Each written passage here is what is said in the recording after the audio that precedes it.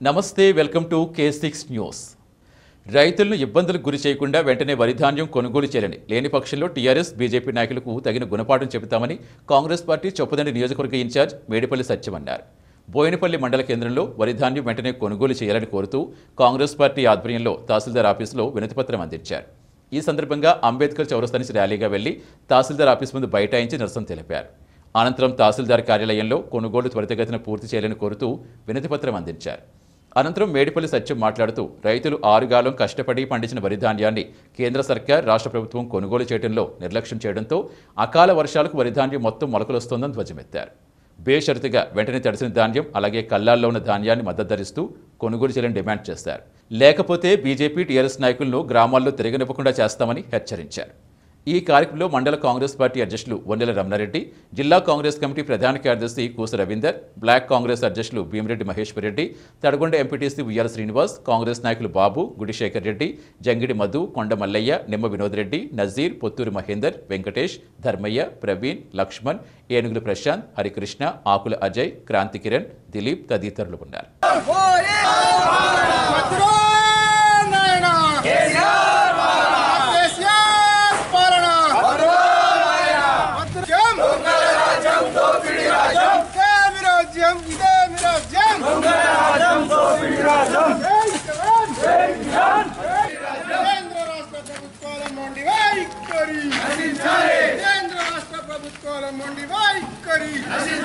జై జవాన్. జై కిసాన్. జై జవాన్. జై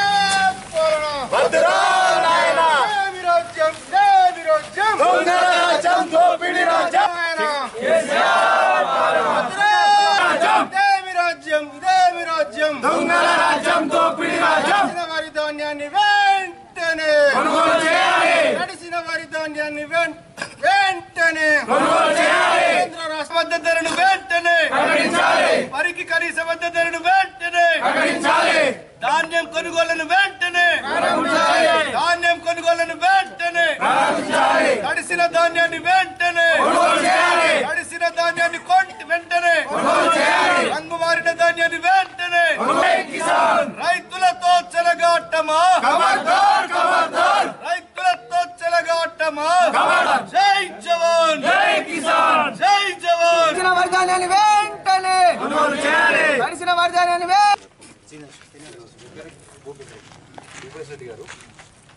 రాష్ట్రంలో వరికి కనీస మద్దతు దొరికాలి ఇప్పుడు ధాన్యం వచ్చి నెల రోజులు దాటిపోయింది. నెల దాటిపోయింది. వర్షం ఎట్లా వస్తుందో మీకు తెలుసు. మొత్తం ఎక్కడిదక్కడ లాగలు వస్తుంది ఇక్కడ వరి కొనుగోలు సీరియస్గా స్టార్ట్ చేయాలి. ధాన్యం సెంటర్లో ఒక లారీ మినహా మీకు ఒక వినతి పత్రం ఇస్తున్నాం. మీరు దీన్ని కలెక్టర్ టు గవర్నమెంట్ పంపించాలి ఓకే?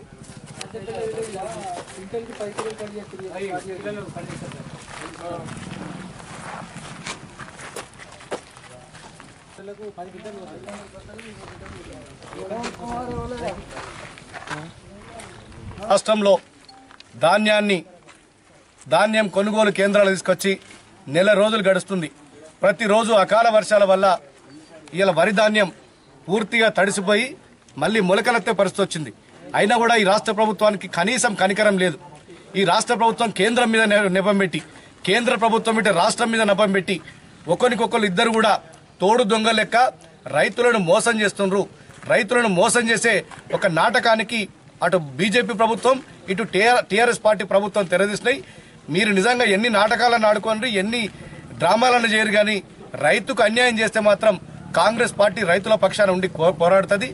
గతంలో కాంగ్రెస్ పార్టీ కేంద్రంలో ఉన్నప్పుడు రాష్ట్రంలో ఉన్నప్పుడు వరికి కనీస మద్దతు ధర ఇచ్చి ఏ విధంగా అయితే ధాన్యం కొనుగోలు కేంద్రాల్లో రైతులకు ఇబ్బంది లేకుండా ఆనాడు హమాలి హడ్తి మొత్తం భరించి రైతులకు ఇబ్బంది లేకుండా ధాన్యం ఏ విధంగా అయితే కొనుగోలు చేసిందో మీరు కూడా అదే విధంగా కొనుగోలు చేయాలి.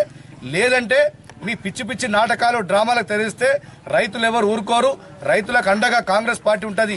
నేను మరీ ముఖ్యంగా చొప్పదండి నియోజకవర్గంలో ఒకటే హెచ్చరిస్తున్నా. మా ఏ ఒక్క రైతన్నకు ఇబ్బంది పెట్టినా ఊరుకునేది లేదు. మీ అన్ని రకాలుగా మీకు చాలా ఇబ్బందులు ఎదుర్కొంటారని చెప్పి చెప్తున్నా నేను.